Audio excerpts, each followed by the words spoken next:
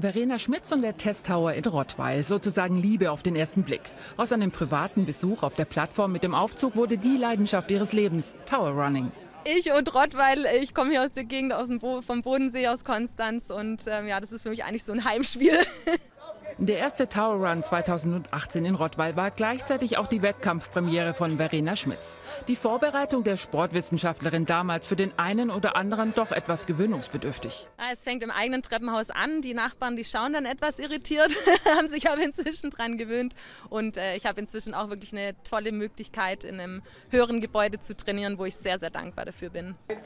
Heute ist die 39-Jährige die gejagte Titelverteidigerin in Rottweil. In den vergangenen beiden Jahren war sie am Testtower nicht zu schlagen, sogar mit Streckenrekord in 9 Minuten und 26 Sekunden. Das Ziel deshalb, den eigenen Rekord brechen. Und das lief auch nach Plan. Nach 232 Höhenmetern und 1390 Stufen hat die amtierende deutsche Meisterin es geschafft.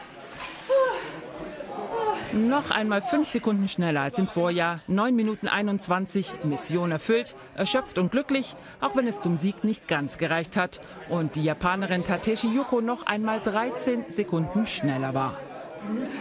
Also das war absolut mein Ziel und alles andere habe ich nicht in der Hand. Und äh, ja, ich habe das abgeliefert, was ich wollte, was ich mir vorgestellt habe. Und ja, super toller Tag und ich bin einfach total dankbar, hier oben angekommen zu sein. so schnell auch. Runter ging es dann noch schneller mit 8 Metern pro Sekunde. Das war auch gut so, denn unten wartete die Familie und Papa Ulrich. Mit dem ging es nämlich gleich nochmal hoch im Teamlauf. Für Verena Schmitz gar kein Problem. Und zu zweit geht ja bekanntlich alles besser. Ich bin stolz auf unsere Teamleistung.